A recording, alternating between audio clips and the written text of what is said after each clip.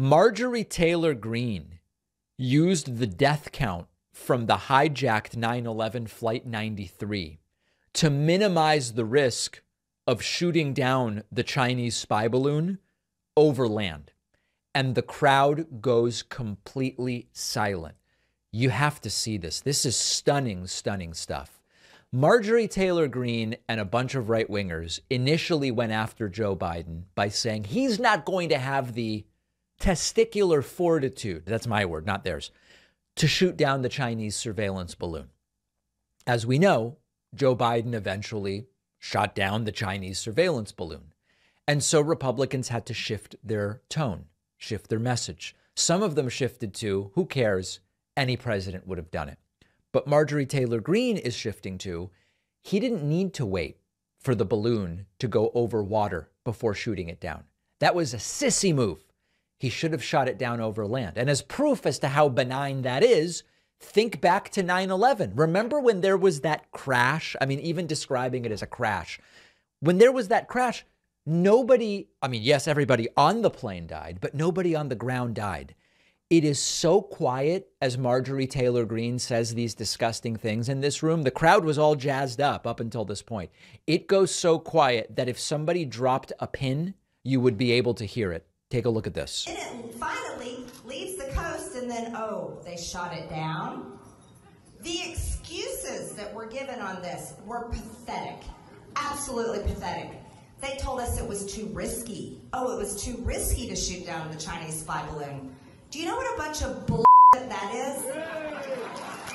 Yeah. They said it's three school buses, three school buses wide. Okay, well, do you guys remember on 9 11 when an airplane crashed in Pennsylvania? A jetliner. Remember that? Oof. It didn't kill anybody on the ground, killed everyone on board, but it didn't kill Silence. Instantly silence. anyone on the ground. So they want to tell all of us that it was too risky to take down that Chinese spy balloon over rural Idaho or Montana or any of these other states or Alaska. Anyway, quite a bold analogy to be making, but in the service of attacking any decision made by Joe Biden, anything is fair game for people like Marjorie Taylor Greene.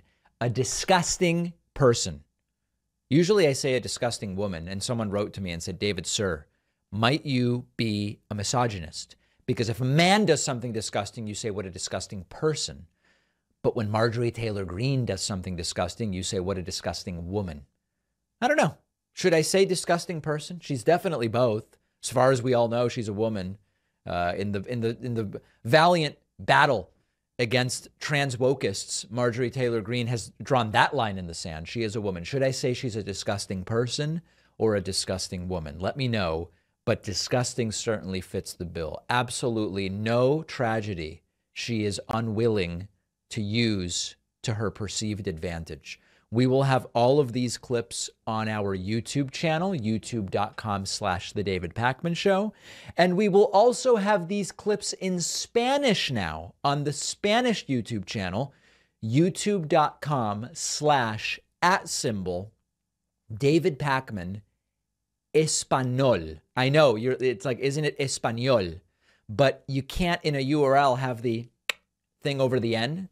So it's David Pakman Espanol for the Spanish channel. It's crazy, I know, but check it out. Email services by big tech companies scan every single email you send and receive. Emails from your doctor, your spouse. That's why you get those creepy ads a few minutes later. And other companies collect your data every time you open an email from them. It's a huge mess all of this information gets sold around. They can piece together where you've been, who you know, what you like, and it's out there forever. That's why I recommend StartMail. StartMail never collects data from your emails. It blocks the trackers embedded in the emails that you receive. StartMail lets you encrypt any email you send, even if the recipient doesn't use encryption, keeping your messages safe from prying eyes. StartMail never shows you ads, and unlike other services, when you delete an email, it's gone forever. And I love this part you can create unlimited email aliases. So you don't have to give companies your real email address, which can really cut down on spam. You can seamlessly migrate your emails and contacts from Gmail, Outlook, Yahoo, and others. It's really easy. Start taking your privacy seriously by signing up for StartMail. You'll get 50% off your first year subscription. Go to startmail.com slash Pakman. The link is down below.